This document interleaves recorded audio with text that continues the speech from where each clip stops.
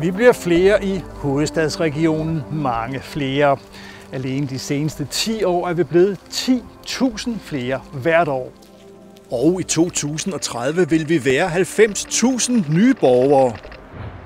Flere mennesker betyder mere trængsel, og allerede nu så er vi rigtig mange, der hver eneste dag spilder tiden i de her bilkøer. Vi fylder simpelthen mere på vejen, når vi transporterer os hver for sig. Og bilernes CO2-udledning belaster vores klima.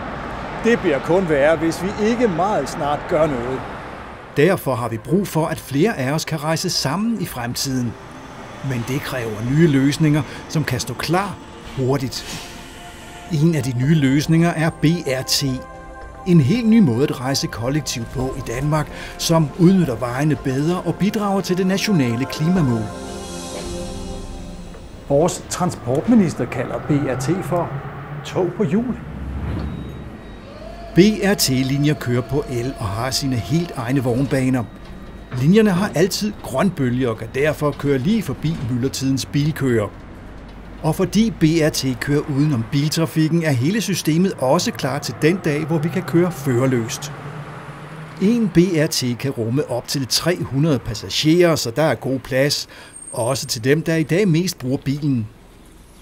Indretningen er moderne med lys og luft, høj komfort og god plads til barnevogne, kørestole og cykler, ligesom vi kender det fra tog og letbane.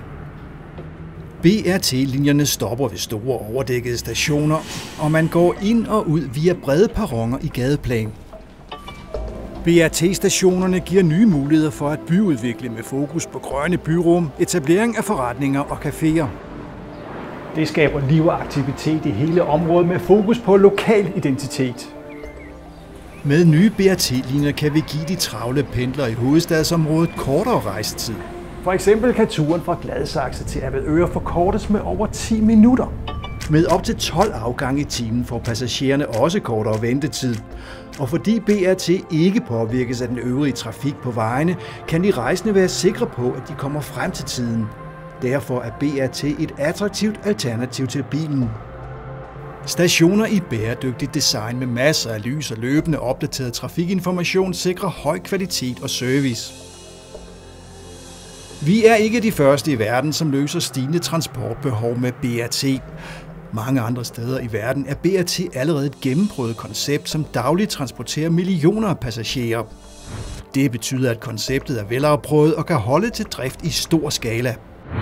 Tusindvis af pendlere er dagligt udfordret af den stigende trængsel, og særligt på de strækninger, hvor S-busserne er ryggraden i den kollektive transport, mærker man problemet. S-bussernes strækninger og de mange passagerer gør det oplagt at opgradere dem til BRT. Det vil give mange tusinde borgere mere og bedre mobilitet med kortere rejsetid uden forsinkelser. På den måde vil BRT binde hele regionen sammen på tværs af hovedstadens byfingre med direkte forbindelser til bus, letbane, metro, S-tog, regionaltog og supercykelstier. Det giver borgerne nye og hurtige forbindelser til de mange arbejdspladser, uddannelsessteder og hospitaler i hovedstadsområdet. BRT kører på el. Det klimavenlige BRT-net udleder ikke CO2 og kan transportere langt flere hver time sammenlignet med en bilbane, for eksempel på motorvejen. Hvis vi opgraderer for eksempel 200S til BRT, så forventer vi over en halv million nye passagerer om året alene på den linje.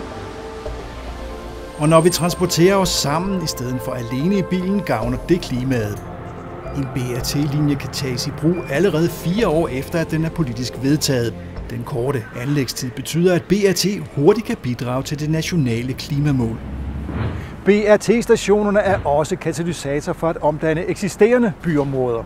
For eksempel her i Værebro Park, et boligområde i Gladsaxe Kommune. Og stationerne giver mulighed for nyt bolig- og erhvervsbyggeri. BRT-linjer tiltrækker også mere erhvervsliv, for virksomhederne placerer sig der, hvor medarbejderne har nem adgang til kollektiv transport. På den måde har BRT-anlæg vist, at de kan stimulere udviklingen af attraktive bymiljøer, der skaber en bedre balance for mennesker og klima. Med stærke partnerskaber og fælles investeringer, så kan BRT i løbet af få år blive en realitet i hovedstadsområdet. Og der er brug for, at vi løfter i flok kommunerne, regionen og staten. Så begrænser vi de endeløse bilkøer og slipper for at spille kostbar tid og vi kan hurtigere få nedbragt CO2-udledningen som et vigtigt bidrag til det nationale klimamål.